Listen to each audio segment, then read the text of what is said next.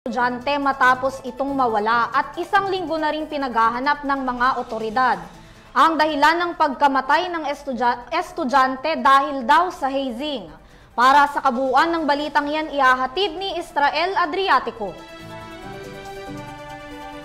Malamig na bangkay na ng matagpuan ng pulisya ang nawawalang third-year chemical engineering student na mahigit isang linggo nang nawawala.